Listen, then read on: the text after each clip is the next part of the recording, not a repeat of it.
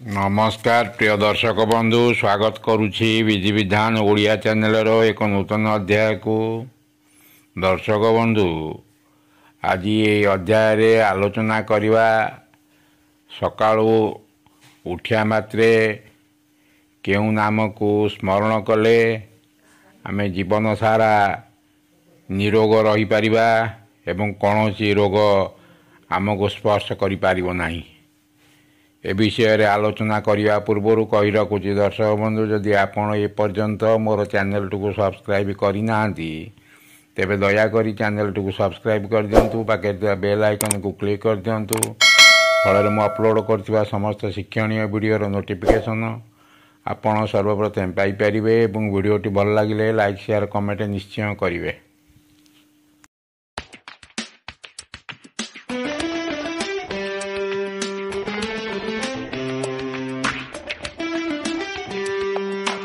ଦର୍ଶକ ବନ୍ଧୁ ରୋଗ ମଣିଷର ବଡ଼ ଶତ୍ରୁ ତେଣୁ ପ୍ରତ୍ୟେକ ବ୍ୟକ୍ତି ଚାହିଁଥାନ୍ତି ସେମାନେ ନିରୋଗ ଜୀବନଯାପନ କରିଥା କରିବାକୁ।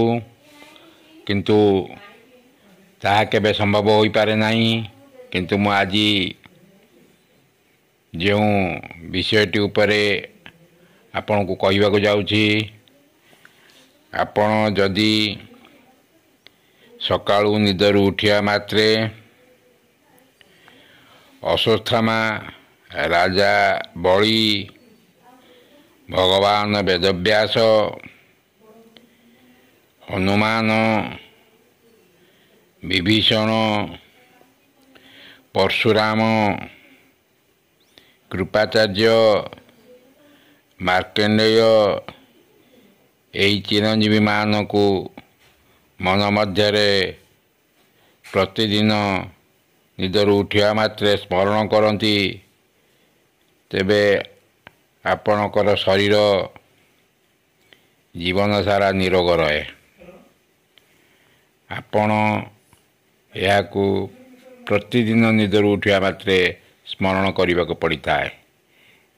ଏମିତି ନୁହଁ କି ଆପଣ ଗୋଟେ ଦିନ ସ୍ମରଣ କରିଦେବା ପରେ ଆପଣ ଯଦି କୌଣସି ଦେହ ଅସୁସ୍ଥରେ ପଡ଼ିଥାନ୍ତି ସେପରି ନୁହଁ ଆପଣଙ୍କୁ ଏହି କାର୍ଯ୍ୟ ଜୀବନ ସାରା କରିବାକୁ ପଡ଼ିଥାଏ ତେଣୁ ଆପଣ ଜୀବନ ସାରା ନିରୋଗ ମଧ୍ୟ ରହିପାରିବେ। ଆଶା କରୁଛି ଏହି ଭିଡ଼ିଓଟି ଆପଣଙ୍କୁ ନିଶ୍ଚିତ ରୂପେ ଭଲ ଲାଗିଥିବ। ରହୁଛି ଧନ୍ୟବାଦ ନମସ୍କାର।